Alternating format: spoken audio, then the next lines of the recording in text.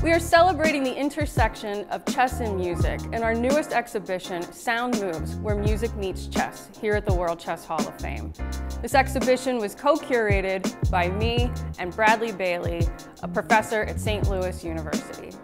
This exhibition is very near and dear to our hearts because not only do we celebrate chess and culture here, but we also have a robust music program that started in the first weeks of us opening in 2011. It's not surprising that in some places chess and music intersect.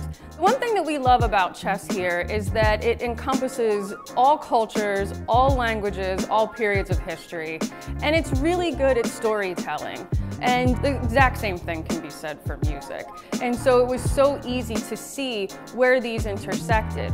In the show, we represent how certain chess players were also very prolific musicians, how some of the biggest bands and important music writers were obsessed with chess. And so it's really fun to see some of these celebrities. We've got photos of RZA and the Wu-Tang Clan, the Kid LAROI, Bad Religion, everybody playing chess. Sometimes they're playing behind stage, and sometimes it just means so much to them that they use both of these, the chess players and the musicians, as a way to kind of escape.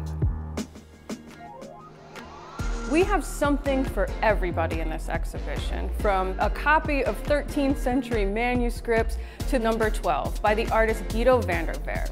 This is an actual chess piano that makes piano sounds when you press on the keys, which are actually the squares on the chessboard. Also, we have music videos and costumes worn in those music videos from the chess player and musician Hugo de Prima. This particular ensemble, the headpiece and shoulder piece, were designed by Diego Montoya, who is known for his incredible work in RuPaul's Drag Race. And also we have musical instruments, this incredible bassoon, which was owned by Jacqueline Piatigorsky, who's in the U.S. Chess Hall of Fame, and her family has donated so many incredible objects to our collection. As you can see, we have so many different objects and experiences here where you can see the true connection between music and chess. Throughout the course of the exhibit, we're going to have tons of programming for you to come enjoy. And another fun thing is that we're partnering with the Muny this summer. They're showing Chess the Musical from July 5th through the 11th. You can see this wonderful exhibit through January 28th, 2024.